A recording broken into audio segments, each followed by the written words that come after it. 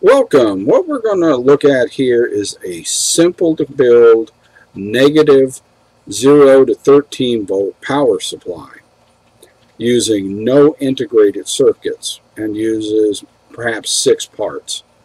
I'm your host Lewis Loflin. Visit my website at www.bristolwatch.com.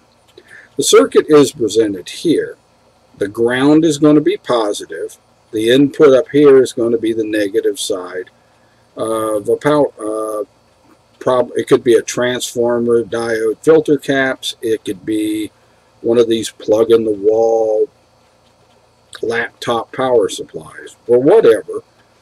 Note that this is negative up here for the input, positive ground. Keep that in mind. What we have is a 330 ohm resistor in series with a 10 volt zener. Note the polarity of the zener that the anode side of the zener goes back towards the negative power supply. Also note the polarity of these two bypass capacitors. This forms a largely stable minus 10 volt reference which is connected to a 1000 ohm potentiometer.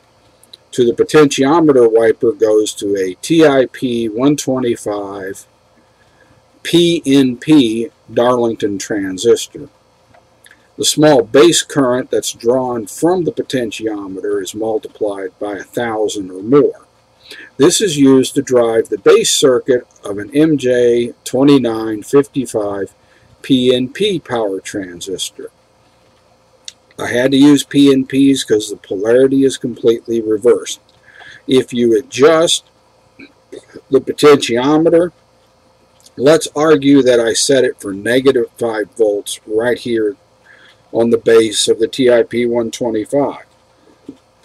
What you will find, there's going to be a negative voltage drop across the two base emitter junctions within the Darlington, and then an additional uh, base emitter voltage drop across the MJ2955, which is rated for up to 15 amps at 60 volts. The TIP 125 will run 4 or 5 amps. If all you want is, say, up to 4 amps, you can leave out the 2955 and connect um, use the TIP 125 by itself. Make sure you heat sink it. Because if you try drawing 3 or 4 amps through this Darlington, it will get warm.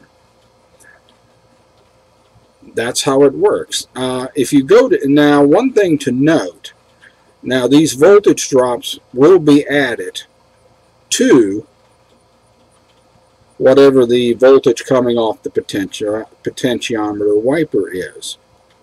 And this is all negative, not positive, negative.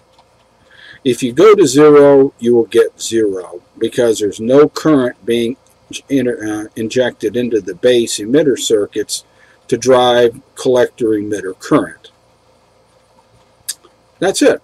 That's the whole circuit, simple to build. Um, hope you find it useful. Somebody requested this, and this is easiest thing I could come up with. Check out my other videos and make sure you visit my, uh, subscribe to my YouTube channel. Thank you for listening.